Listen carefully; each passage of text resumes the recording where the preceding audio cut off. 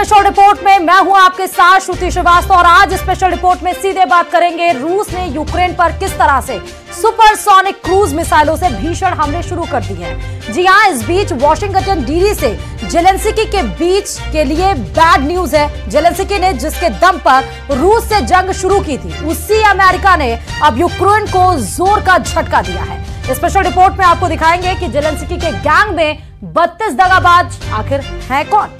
देखे रिपोर्ट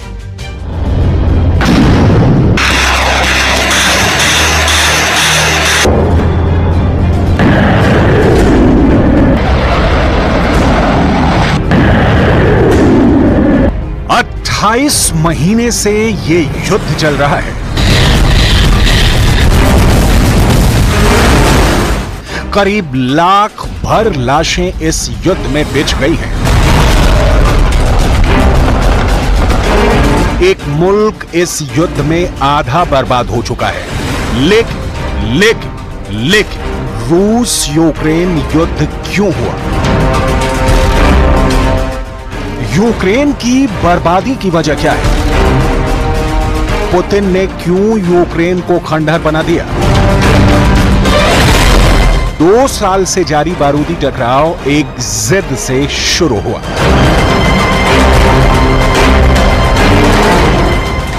वो जिद थी यूक्रेन के राष्ट्रपति जेलेंस्की की। जेलेंस्की यूक्रेन को नाटो का सदस्य बनाना चाहते थे, उस नाटो का जो दुनिया का सबसे शक्तिशाली सैन्य संगठन है, जिसमें 32 देशों की सेनाएँ हैं, जिस नाटो में सुपर पावर अमेरिका शामिल है, उसी संगठन में शामिल होकर यूक्रेन को जेलेंस्की अजेय बनाना चाहते थे।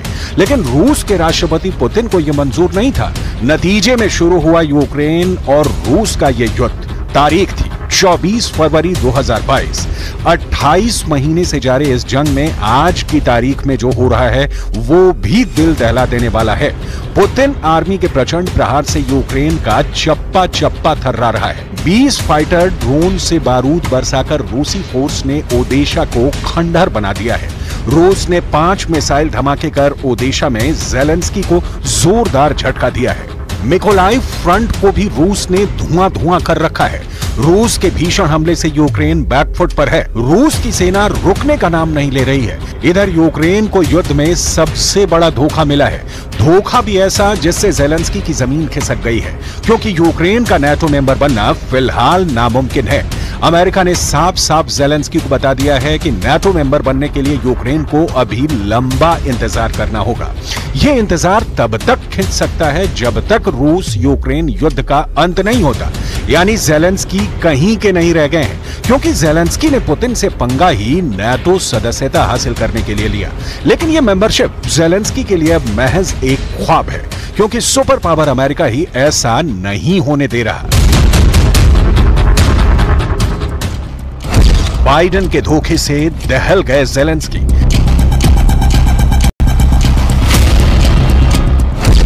नाटो सदस्यता पर जेलेंस्की को सुपर पावर का बिग नो नाटो युद्ध भड़काएगा, पुतिन से नहीं टकराएगा। रूस से जंग जीतने की शर्त, जेलेंस्की का। अब क्या होगा? अमेरिका से दोस्ती और दुश्मनी दोनों में जोखिम है। सुपर पावर किसी का नहीं। यूक्रेन के राष्ट्रपति जेलेंस्की आज की तारीख में खुद को ठगा हुआ महसूस कर रहे हैं, क्योंकि जिस अमेरिका पर भरोसा करके उन्होंने प्रेसिडेंट पुतिन से युद्ध मोल ले लिया उसी ने जेलेंस्की के अरमानों को चकनाचूर कर दिया है We've just added two incredibly capable allies, growing our alliance to 32 nations.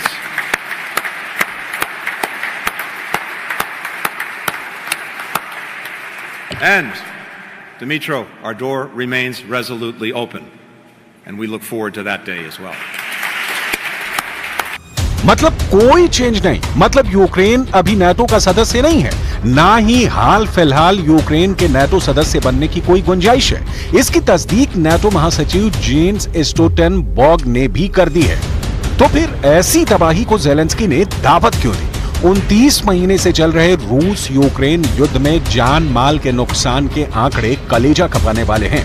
United Nations के मुताबिक फरवरी 2024 तक युद्ध में यूक्रेन के दस नागरिक मारे जा चुके हैं। उन्नीस लोग युद्ध के बाद से लापता हैं।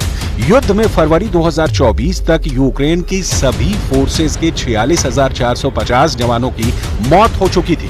बीबीसी की एक रिपोर्ट में दावा किया गया कि युद्ध में फरवरी 2024 तक रूस के सत्तावन जवानों की मौत हुई है।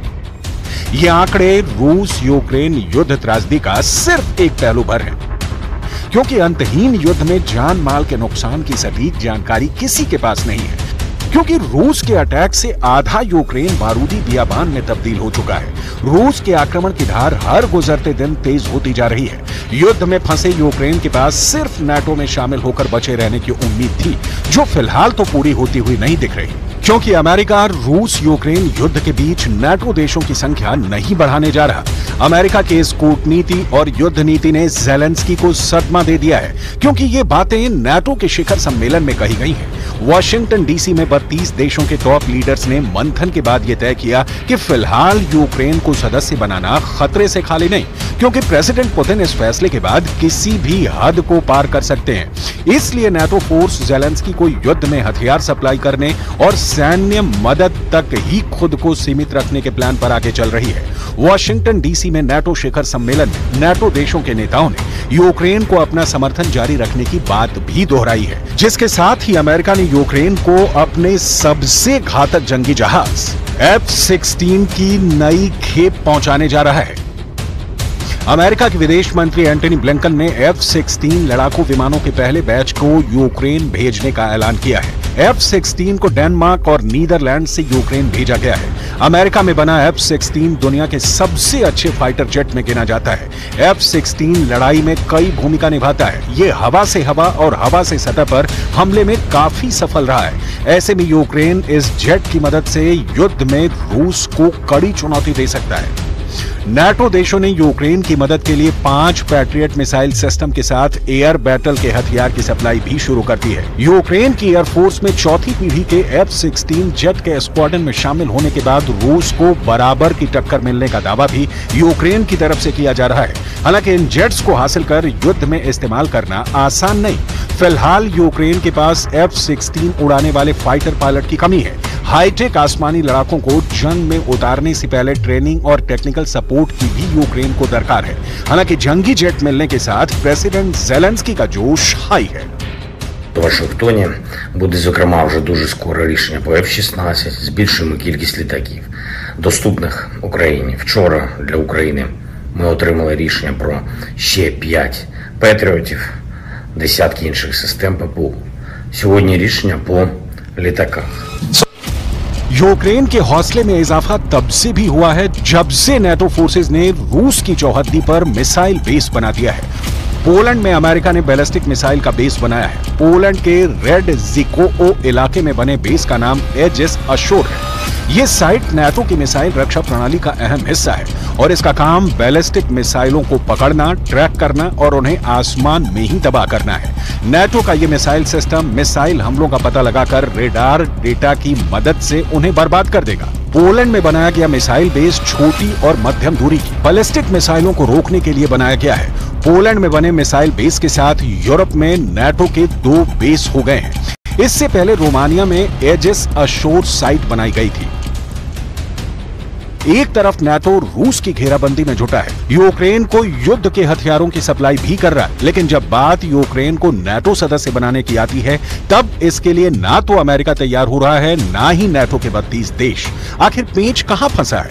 तो जानिए कि नेटो सदस्य बनते ही यूक्रेन के साथ बत्तीस देश का रूस से युद्ध शुरू हो जाएगा। क्योंकि नेटो संगठन में शामिल किसी भी देश पर हमला, सभी देशों पर हमला माना जाता है। नेटो फोर्सेज एक साथ मिलकर दुश्मन से युद्ध लड़ते हैं। यूक्रेन अगर नेटो सदस्य बना तो रूस के खिलाफ नाटो को सेना उतारनी पड़ेगी, जिसके बाद युद्ध का विस्तार यूरोप से अमेरिका तक होगा। विध्वंसक हथियारों के इस्तेमाल की कोई लिमिट नहीं होगी। एटम बमों की टक्कर भी महायुद्ध में होने की आशंका है। रूस के परमाणु हथियारों की काट किसी के पास नहीं। इसलिए नाटो सदस्य और अमेरिका पुतिन से सीधी टक्कर से बचने के प्लान पर चल रहे हैं।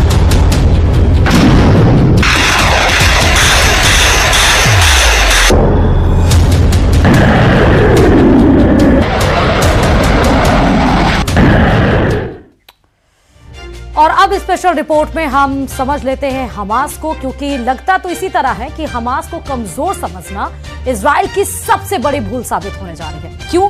क्योंकि अब जो खबरें आ रही हैं, वो हैरान करने वाली हैं। इसराइल की खुफिया एजेंसियों ने यह दावा कर दिया है कि दक्षिणी गजा में हमास ने बहुत बड़े हमले की पूरी तैयारी कर ली है। इसी पर देखिए खास रिपोर्ट।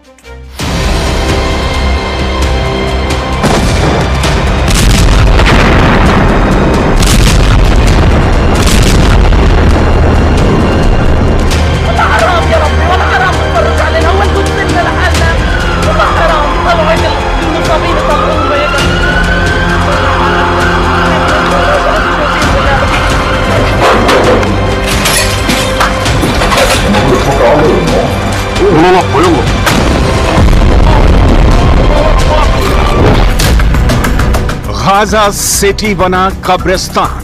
पाँच पाँच सौ पाउंड के गिरे बम।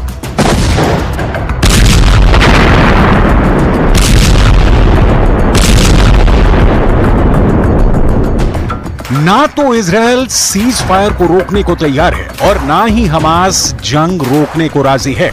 ऐसे हालात में नौ महीने से चल रही जंग अब उस दौर में पहुँच चुकी है, जहाँ या तो इसराइल गाजा पट्टी से हमास का पूरी तरह से सफाया कर दे, या फिर हमास के लड़ाके और टॉप कमांडर इसराइल को मजबूर कर दें कि वो हमास की शर्तों पर सीज फायर करने को मजबूर हो जाएँ। जानकारों के मुताबिक अभी तक कोई संकेत नहीं है, जिससे लगे गाजा में खूनी जंग रुकेगी हालात तो ये हो चुके हैं कि उत्तरी, दक्षिणी, पूर्वी और पश्चिमी गाजा में मौजूद लगभग 20 लाख फिलिस्तीनी इस जंग में बुरी तरह से मारे जा रहे हैं।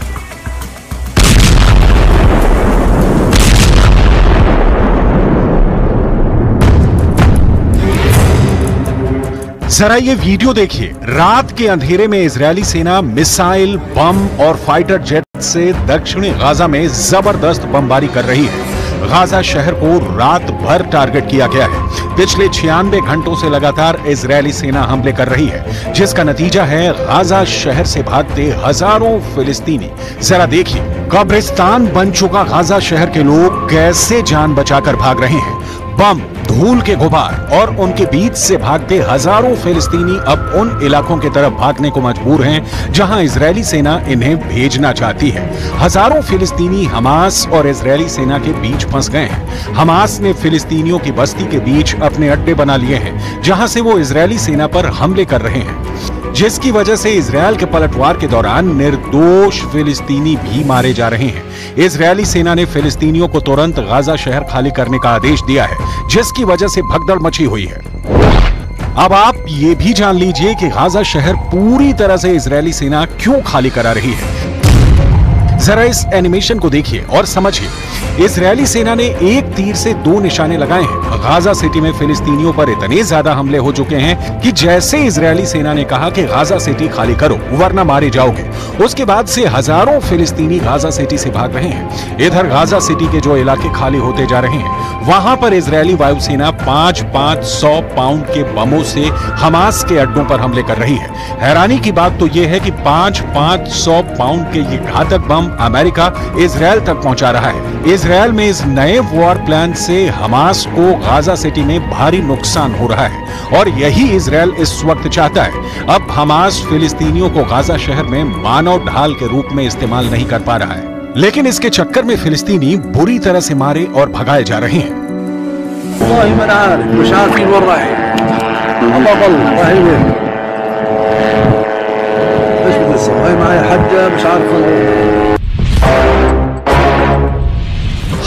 हमास ने उड़ाए स्नाइपर और बुलडोजर।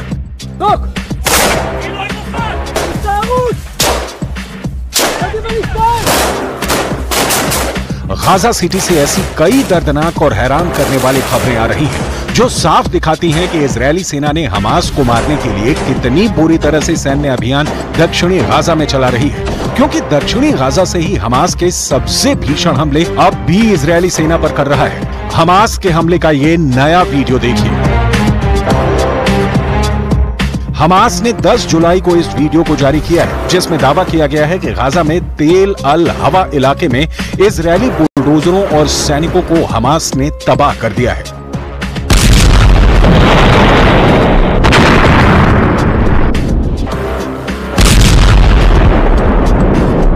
इस वीडियो में साफ़ देखा जा सकता है कि हमास के लड़ाके इसराइल के उस बुलडोजर को धमाके से उड़ा रहे हैं, जो बारूदी सुरंगों को दबा कर रहा था।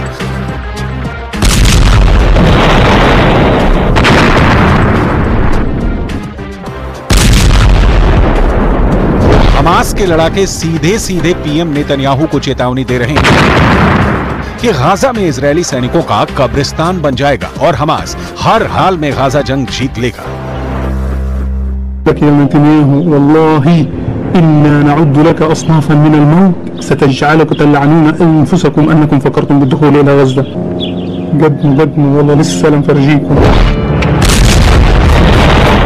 वीडियो में जोरदार धमाके के साथ ही बुलडोजर एक जगह रुक जाता है जरा देखिए हमास का लड़ाका क्या बोल रहा है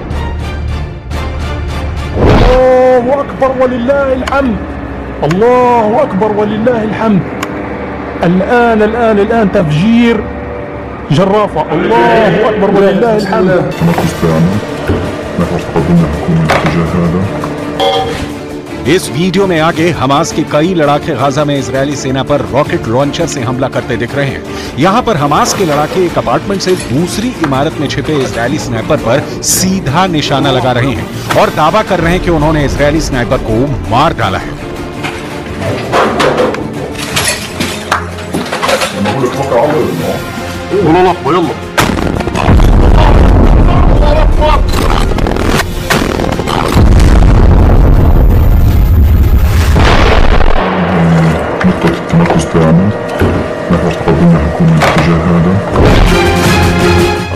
गाजा युद्ध बेहद विनाशक हो चुका है हमास हार मानने को तैयार नहीं है और इजरायली सेना हमास का सफाया करने पर तुली है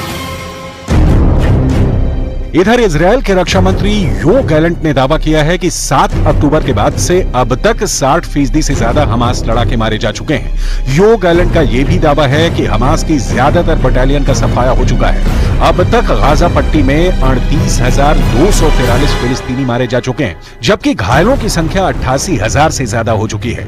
दक्षिणी गाजा के रफा शहर खान यूनुस और पूर्वी गाजा के शुजाया में इसराइली सेना जमकर हमले कर रही है। इजरायली सेना ने खान यूनुस के पूर्व में अबासन और खुजा सहित कई शहरों में तोपखाने से हमले किए हैं חיסלנו או פצענו 60% ממחבלי החמאס, פירקנו את 24 הגדודים או את אה, רובם המכריע, השבנו מחצית מהחטופים ואנחנו נחושים להשיב את השאר. אה, ואנחנו כולנו, מערכת הביטחון ואני בראשה, נחושים להשיג את מטרות המלחמה ולהשלים אותן. इधर हमास के समर्थन में हिजबुल्ला चीफ ने खुलकर मोर्चा खोल दिया है उत्तरी इसराइल पर हिजबुल्ला के लड़ाके अब तक 600 से ज्यादा रॉकेटों से हमले कर चुके हैं जिसने इसराइल के कई इलाकों में भयानक तबाही मचाई है इधर हिजबुल्ला चीफ ने ये भी ऐलान कर दिया है कि हम गाजा में पूरी तरह से हमास का समर्थन करते हैं और हमास के हर हमलों को हिजबुल्ला का समर्थन है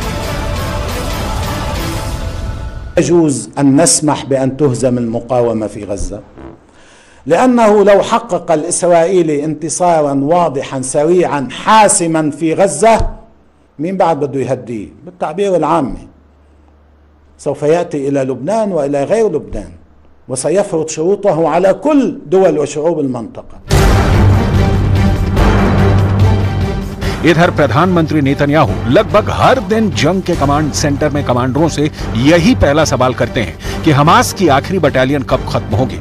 लेकिन हैरानी की बात यह है कि अब तक इसराइल के टॉप कमांडरों ने गाजा और लेबनान पर जितने भी बड़े जंगी दावे किए हों, वो सबके सब हवा हवाई निकले हैं। हकीकत में इसराइली सेना के पास घातक हथियारों की भारी कमी है और यही वजह है कि इसराइल को लगने लगा है कि मध्य पूर्व के देशों के साथ साथ ईरान, सीरिया और यमन इसराइल पर हमला कर सकते हैं। इसी को देखते हुए इसराइल के विदेश मंत्री इसराइल कैड्स ने अब कयामत युद्ध की धमकी दी है।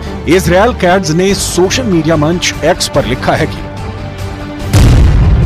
ईरान को उसके विध्वंसक संदेश ने उसे विनाश के योग्य बना दिया है। जो शासन विनाश की धमकी देता हो, उसे बर्बाद कर दिया जाना चाहिए। इसराइल कैड्स ने यह भी लिखा है कि अगर ईरान समर्थित हिजबुल्ला लेबनान से इसराइल पर अपनी गोलीबारी बंद नहीं करता और बॉर्डर से दूर नहीं जाता है तो इसराइल उसके खिलाफ पूरी ताकत से कार्रवाई करेगा। फ़िलहाल, गाजा में जो हालात बने हैं, वो बेहद विनाशक है। अब देखना होगा कि इसराइल गाजा पट्टी से हमास का सफाया कर पाता है या फिर नहीं।